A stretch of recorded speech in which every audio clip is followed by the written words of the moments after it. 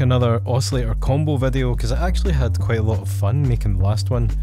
And the idea is that you pair two different oscillator modules, put them in the rack and just see what kind of jams you can have. So that's the plan for today. If that sounds good, please stick around. Also, please subscribe if you've not already. And finally, if you do enjoy my videos and you would like to help support my work, then I have a Patreon account where I upload extra videos and sample packs and preset packs. They're also available on my online store. I have a cassette for sale that you can pick up on my Bandcamp. And finally, there are some affiliate links down below as well. Yeah, let's get into the first oscillator combo, which is the ALM Busy Circuits MCO and the Expert Sleepers Disting NT.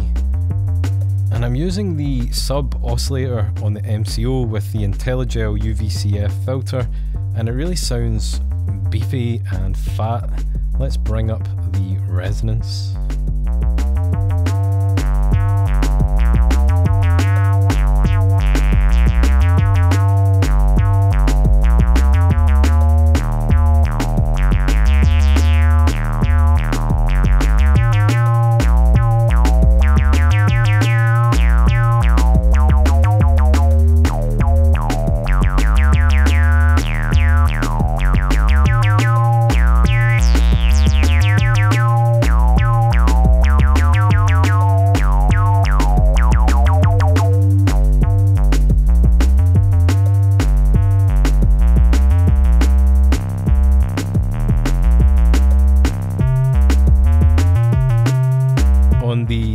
Disting NT, I'm using the Poly FM algorithm.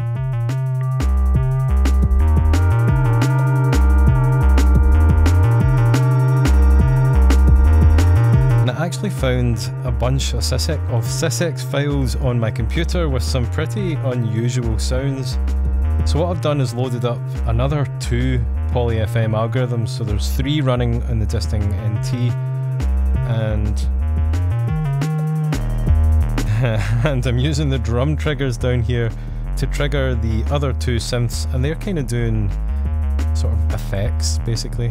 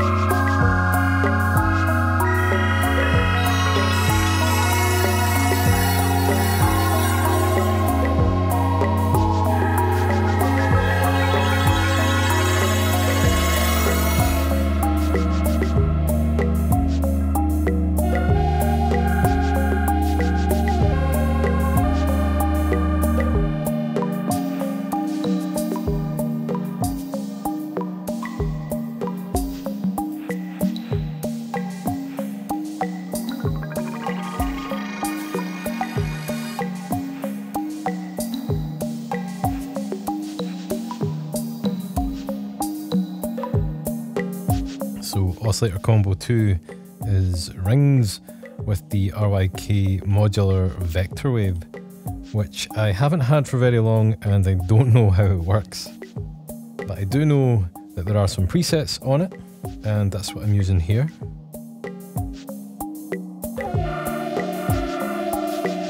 I also know that there are four voices of polyphony, which is why these notes are overlapping. Really, really nice.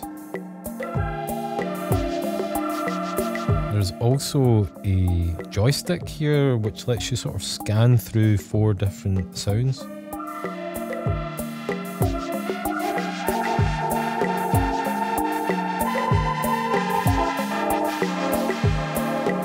And I'm really hoping this is modulatable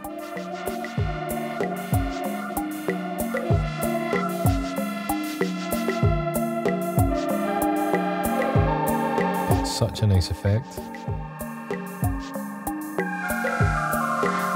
And the other sort of main element in this uh, jam is beads, and I'm using a feature that I don't use very often and I'd kind of forgotten about. It's the feedback control, and it makes the grains really sort of spiral up in this sort of sparkly, heavenly way. it's so nice.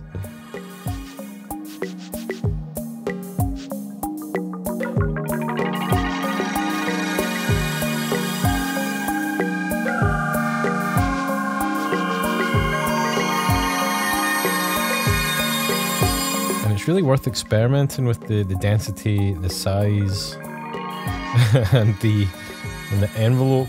Let's go to a sawtooth envelope with the a smaller size.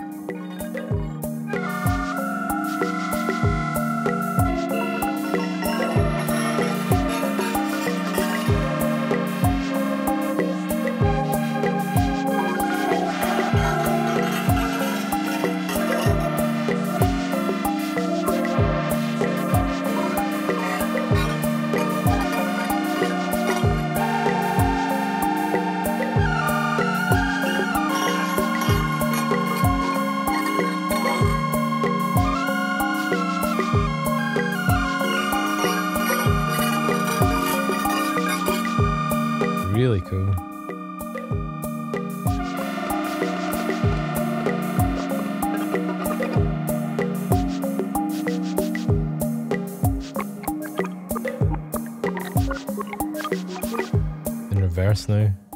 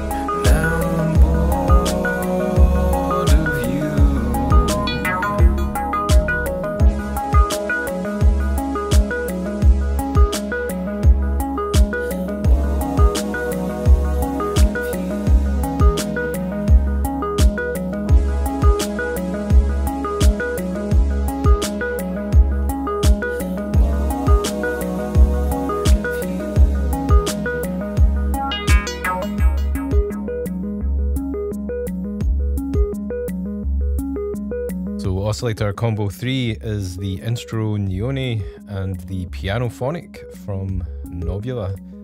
And when I first started jamming this one out, my initial impressions were that it's a bit lame. And I think as a as an electronic musician, you always strive to be doing something interesting, something cool. and I was thinking of scrapping the whole thing, but then I thought, no, let's lean into the lameness, let's embrace the cheese and make it even cheesier. so the uh, the Neoni is an analog oscillator. It's being sequenced by the Octone from the Glasgow Synth Guild, and it's quite a, a basic sequence I've got running. It's going into the MFX digital delay. And to spice up the sequence, I was bringing in some of the wave folding.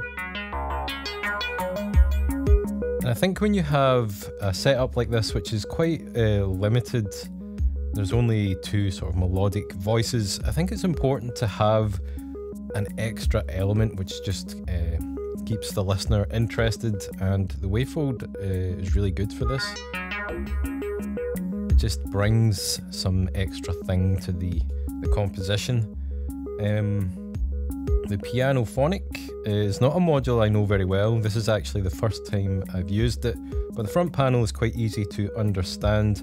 I'm controlling it with uh, MIDI from the KeyStep, and I found this nice pad sound. I do have a little bit of vibrato coming into the Volt Octave input. Take that out.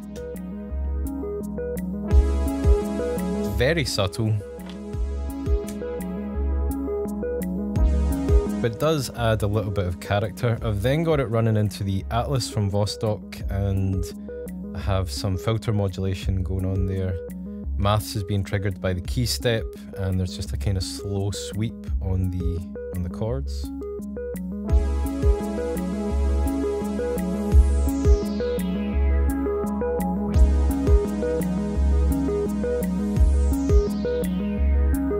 Really is a lovely sounding filter. And uh, yeah, I was just playing a chord progression.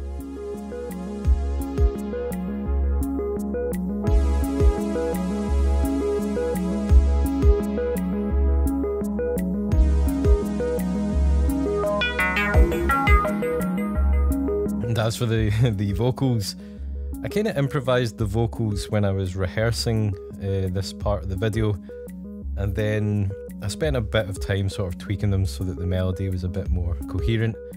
And I've got a feeling I'm going to add some overdubs. This is the type of track that um, could really use some, some backing vocals. But yeah, I hope you've enjoyed my Oscillator Combo 2 video. If you have, please leave a like and a comment, and I'll catch you all again soon.